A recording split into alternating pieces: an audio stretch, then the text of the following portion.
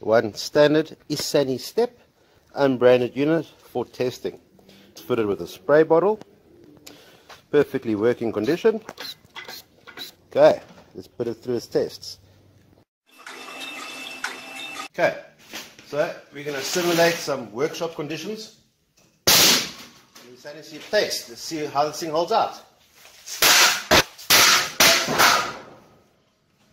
So, that went well. Let's see.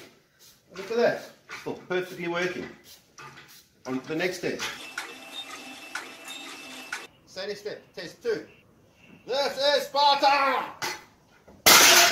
Fortunately, our stands are a lot stronger than the bottles. So, I've changed over the bottle to a new one. That one's broken.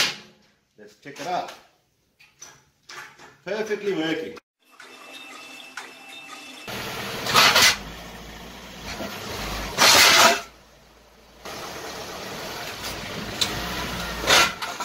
Results from test 3, once again, bottle got slightly damaged. Let's see if it still works. 100% operational. Look at that.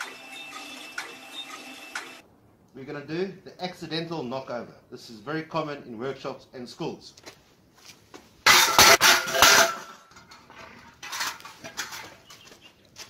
Here's the results for test 5. Again, bottle was slightly damaged. That's okay. We're not testing the bottles. It still works. All in all, I don't think we can break this unit. Clearly, very well engineered.